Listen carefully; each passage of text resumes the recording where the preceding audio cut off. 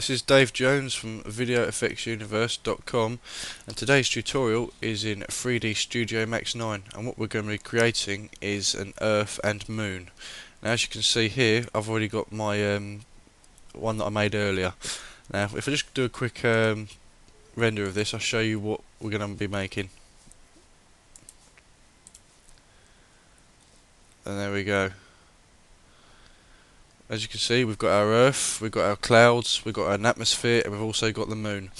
Now this tutorial isn't going to take five minutes because this is 3D Studio Max after all, and things do take a long time to uh, put together. Even if you know what you're doing, it still doesn't happen in five minutes. Okay, right. First off, um, if you want to create your Earth, you need some textures. Now, as you can see, I'm in Google here. Now, if you go to the images section, once you've selected the images, type in moon map. Right, and as you can see, we've got quite a lot of images of moon maps in that. Click on this one here, and you'll see that we have quite a lot of textures on here, and we've got everything that we need.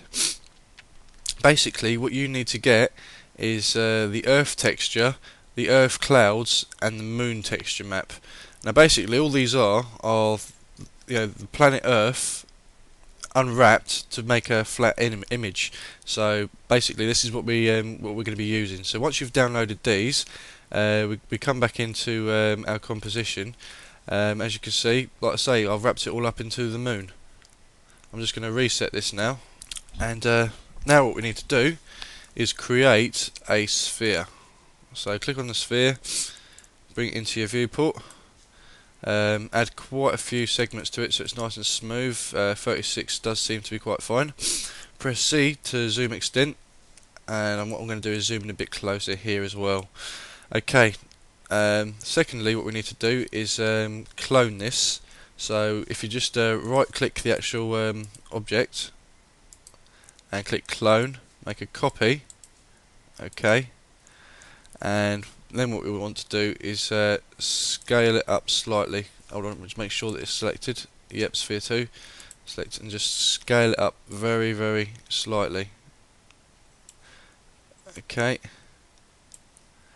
Do it each three ways on the um, scale uh, gizmo. So you basically just want to make it slightly bigger. Right, okay. Now Right, now what you want to do is name your sphere 2 and name that clouds. Okay. Um, select sphere 1, it's just underneath it, and we're going to name that surface.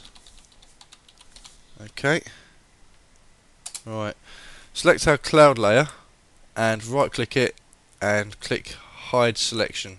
Alright, so that's hidden. So basically we've just got our earth surface.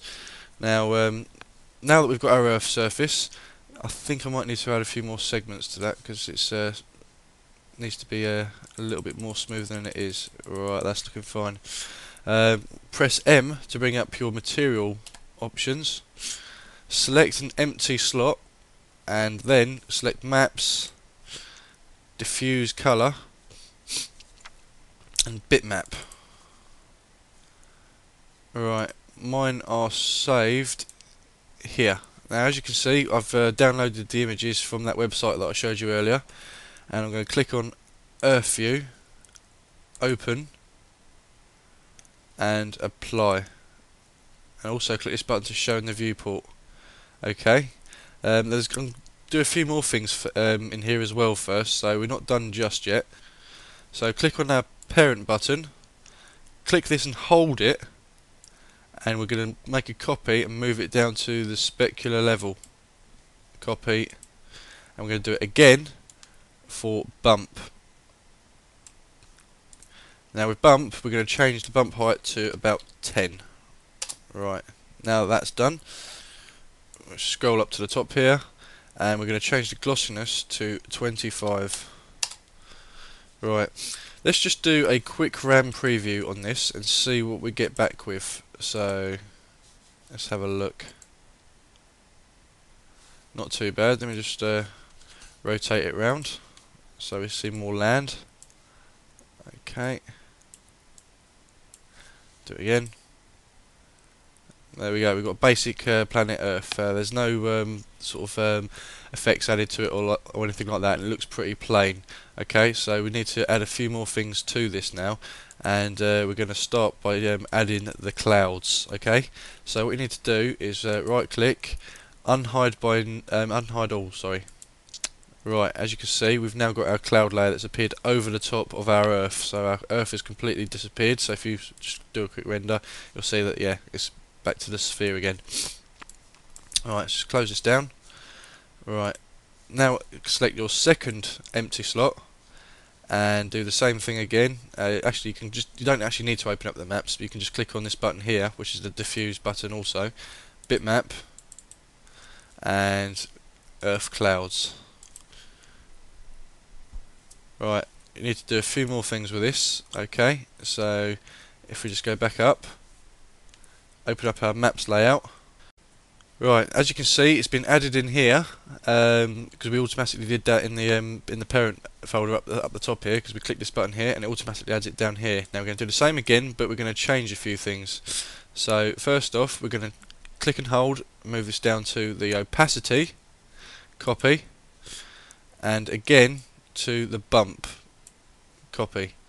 Uh, keep the bump at 30 that should be perfectly fine right and go to the top and set the colour to 100 right what you need to do is make sure that your cloud layer is selected. So just to make sure clouds select and uh, then you click on this button here to apply it.